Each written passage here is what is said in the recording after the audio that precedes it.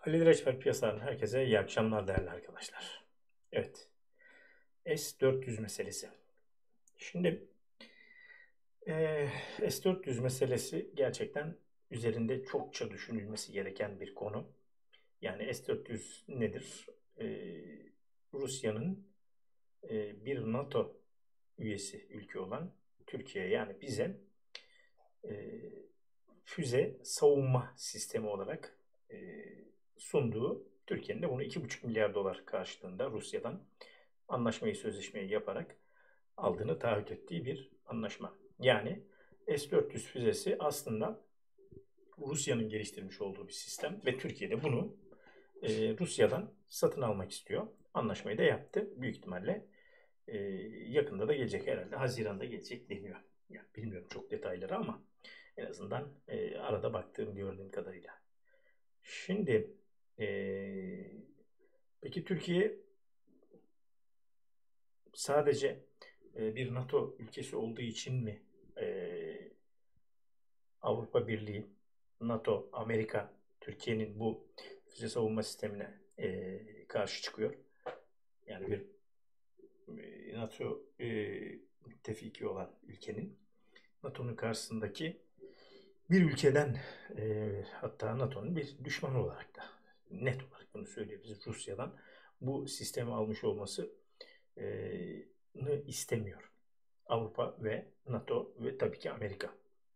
Peki Türkiye neden bunu alıyor dediğimizde e, şunu söylemek istiyorum. Aslında bu gelişmelerin hepsi piyasalara nasıl yansır, dolara nasıl yansır bunu anlatmaya çalışacağım. E, Türkiye neden böyle bir sisteme ihtiyaç duyuyor? Çünkü biliyorsunuz ee, Suriye meselesi olduktan sonra, geliştikten sonra maalesef burada kötü e, bir politika neticesinde ciddi sıkıntılar yaşandı. Yıllarca yaşanıyor. Ee, en önemli noktalardan bir tanesi biliyorsunuz Gaziantep Kilis ilçemize e, belki e, son 4 yıla 5 yıla baktığımızda hatta belki daha fazla 6 yıla baktığımızda çok ciddi olarak buradan Suriye tarafından Kuzey Suriye hatta e, Irak'tan bile zaman zaman bir takım e, bombardımanlar söz konusu. Bombardımandan kastım e, buradan atılan havan topları ve e, halkın e, halkımızın ölmesine neden olan bir takım gelişmeler söz konusuydu. Yani terörist saldırılar söz konusuydu. Bunları yapan da PKK'nın uzantısı olan diğer işte bahsedilen YPG, PYD hepsi. E, tabii Türkiye'de ister istemez dedi ki NATO'ya bakın bizim bir hava savunma sistemine ihtiyacımız var. Zaten bölgeye karışık. Bize bir şekilde e, NATO üyesi olduğunuz için bir e, savunma sistemi gönderin dediler. NATO'ya dediler, Amerika'ya dediler, Avrupa Avrupa Birliği'ne dediler. Bunu kimse takmadı açıkçası. Bu işte Avrupa'nın, Batı'nın, NATO'nun, Amerika'nın ne kadar iki yüzlü olduğunu net olarak gösteriyor. Bunu net olarak söyleyebiliriz biz çok haklı olarak tabii ki bu e, süreç çerçevesinde dedik ki tamam siz vermiyor musunuz kardeşim? Vermiyorsanız bize Rusya'dan alıyoruz dediler. Dedik daha doğrusu. Doğru. Yapılan doğru bir hamleydi. Kim ne derse desin.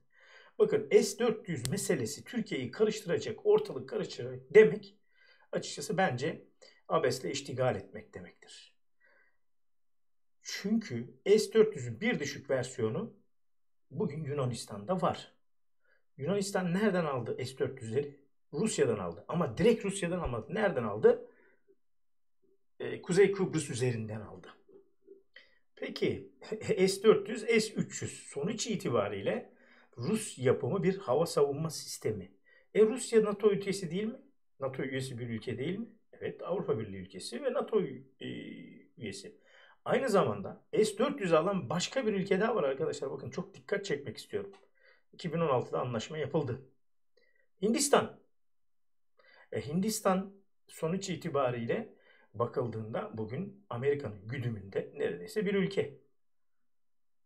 Detaylarına baktığınızda Merkez Bankası başkanlarının hükümet değişimlerinin son 5 yıldaki sürecine bir bakın. Ne demek istediğimi çok iyi anlarsınız.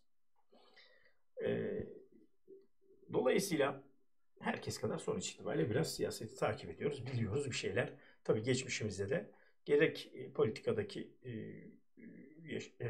gençliğimizde, gençlik kollarında birkaç partide görev almış olmam, gerekse sivil toplum örgütlerinde yıllarca üst yönetimlerde yönetim kurulu üyeliği, saymanlıklar yıllarca yapmış olduğum çalışmalarım var.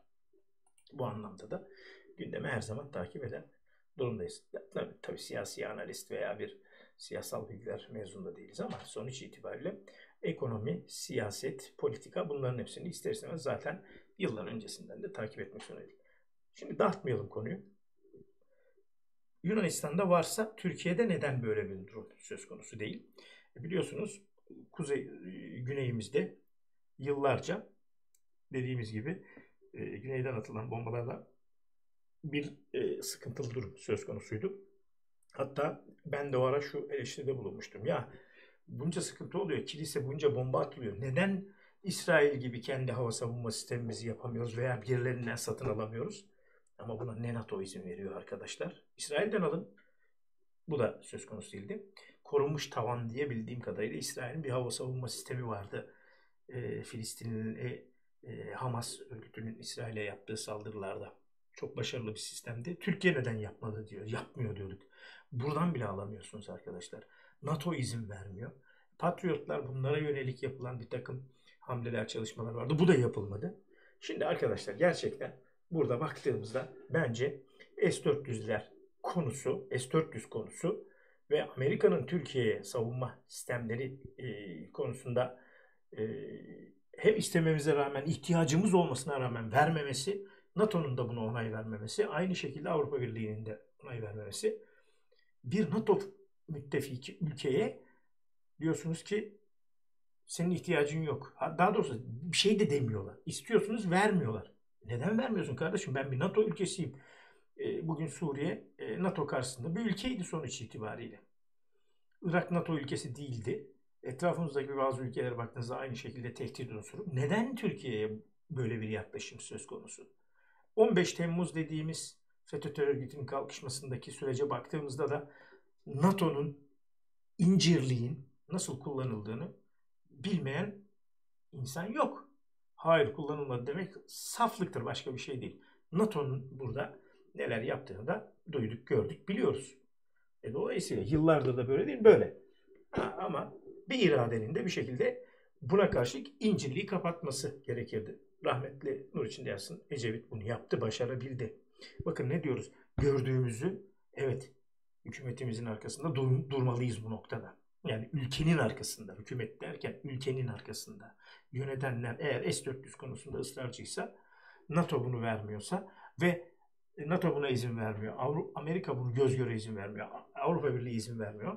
Ama S-300'ler bugün Yunanistan'da var. S-400'ün bir düşük kademesi nereden e, aldılar? Kuzey Kıbrıs, şey Güney Kıbrıs'tan aldılar. Rusya'dan alıp oraya verdiler. Orada. Zaten oradaki e, Rusya, Yunanistan ve e, Kıbrıs Rum kesimi ilişkilerine bakacak olursanız en azından biraz siyaset politikadan anlayan kişiler göreceklerdir. Rusya'nın tamamen aslında pardon e, Güney Kıbrıs'ın tamamen aslında belki de din e, mezhep anlamında da e, bir yerde Rusya'nın e, Yunanistan ve şey bağlantısına bakacak olursak e, Güney Kıbrıs bağlantısına bakacak olursak bu net bir şekilde Avrupa Birliği tarafından, NATO tarafından, Amerika tarafından e, anlaşılmıyor mu? Bilinmiyor mu? Bilinmiyor. O zaman neden Yunanistan'a veriliyor Türkiye'ye e, bu noktada e, üç maymun hikayesi uygulanıyor. Onun için S-400'ler Türkiye'nin bence yapması, alması gereken daha doğrusu kararlardan biri, doğru kararlardan biriydi. Evet. Şimdi ne olacak? Kalkıp eğer son dakikada tamam Amerika biz veriyoruz dese de açıkçası anlaşma yapılmış 2,5 milyar dolarlık bir anlaşma söz konusu. Ha ne olur yaparsın tamam dersin Rusya'ya tamam anlaşmayı yaptık dersin verirsin veya tazminat karşılığı nedir bilmiyorum. Kimse bilmiyordur büyük ihtimalle ama alırsın gel dersin NATO'nun e, denetiminde bunları koy Türkiye'ye koy biz takip edelim. Yani NATO'nun şöyle de bir bahanesi var. E, NATO sistemine uyumlu olmadığı için. Ya geç onları kardeşim ya. Geç onları. 74 Barış Harekatı'nı düşünün arkadaşlar. Türkiye'ye yapılan zulümü. Kıbrıs'ta yapılan vatandaşlarımıza yapılan zulümü. Bunun doğrultusunda 74 Barış Harekatı ve arkasından Türkiye'ye olan ambargo. İncirlik kapatıldı. Tabii ondan sonraki süreç bu irade şu an için burada yok ama sonuç itibariyle yapılması gereken bir hamle varsa o yapılmalı. Yani incirliğin kapatılması ama tabii sonuç itibariyle bu bir sonuç getirir mi? Bir sıkıntı getirir mi? Bu ilerleyen süreçte illaki eğer bu S-400 meselesini Batı, Amerika, Avrupa Birliği, NATO tırmandıracaksa e, illaki bir sıkıntılar olacaktır. Ama benim kanaatim, benim kanaatim e, çok da abartılacak bir durum olmadığı yönünde. Bunu söyleyebilirim çünkü dediğimiz gibi e, belki Türkiye'ye gelecek S-400'ler bugün Yunanistan'da nasıl e, konuşlandırılıp e, NATO kontrolü altında bir e, durum söz konusuysa Türkiye'de de pekala aynısı uygulanabilir. Çünkü Türkiye'nin Yunanistan'da daha büyük etrafında tehditler söz konusu. Ben bu noktada bugün S-400 meselesinden dolayı dolar 7 olacak, 8 olacak. Ya geçin arkadaşlar onları ya geçin. Lütfen geçin. Hiçbir şeyde olacağını zannetmiyorum. Onun için benim kanaatim çok büyük ihtimalle zaten her şeyin dolar TL'de fiyatlara girdiğini bakın şu videomda mutlaka şu videoyu İzleyin arkadaşlar. Dolar buraya kadar mı? Uzun bir süre 5.10-5.80 bandında seyredecek mi? Burada birçok para birimimle biliyorsunuz karşılaştırdım. Pazar günü yapmış olduğum çalışmada. Birçok para birimiyle karşılaştırdım. Bakın en basitinden şunu söyleyeyim. Dünyada, dünyada dolar gelişmekte olan ülkelerde 2008'den beri ortalama yüzde yüzde 175 değerlendi. TL karşısında Ağustos ayına geldiğimizde %530 değerlenmişti. Şu anki durumda nedir? Şu anki durumda %380. En basitinden Brezilya reali bizim gibi aynı para birimi. Şu an %315 değersiz TL daha doğrusu e, dolar TL karşısında değerlenmişti. 2008'den eğer dikkate aldığımızda Brezilya reali ne kadar değerlenmiş dolar karşısında değer kaybetmiş pardon. %150. Brezilya reali dedik. Zar, Güney Afrika randı. Aynı ülkelerdeyiz. Aynı e, kategorideki ülkelerdendiniz. Ne olmuş? Bakalım. Ne olmuş? %124. Görüyorsunuz. %300 nerede? %124 nerede arkadaşlar? Hindistan'a bakalım bir de. Bakın Hindistan yeni anlaşma yaptı dedik. Hindistan rupisi. 2008'den beri ne oldu? Bakın 2008'den beri şu anki değeri kaç? %77. Şu an nedir? %80.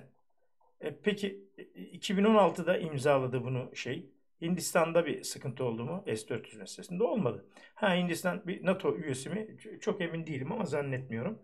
Ama sonuç itibariyle e, burada bakın dediğim gibi Hindistan'daki birçok noktadaki e, politik kriterlere.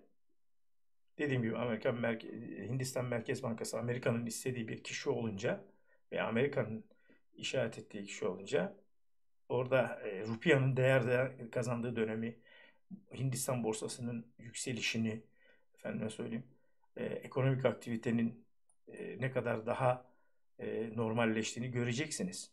Bir, bir araştırın bakın Amerika e, Hindistan'daki Merkez Bankası hikayesi ve Amerika ekonomi politika e, yönetim Hindistan diye araştırın. Bakın göreceksiniz.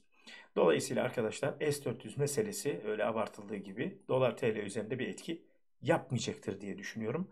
Bunu da e, nokta koymuş oldum. Çünkü herkes herkes bir şekilde bir şeyler konuşuyor. Ben negatif bir etkisi olacağını yani öyle abartıldığı gibi bir negatif bir etkisi olacağını zannetmiyorum. Mutlaka konuşulacak üzerinde bir şeyler olacak. Ama öyle abartıldığı gibi şeyler olmayacaktır diyorum. E, bunu da sadece meramdan dolayı çok çok kişi mesaj da attı. Ondan dolayı paylaşmak istedim. E, söyleyeceklerim bu kadar. E, yarın sabah tekrar görüşmek üzere. Herkese iyi geceler.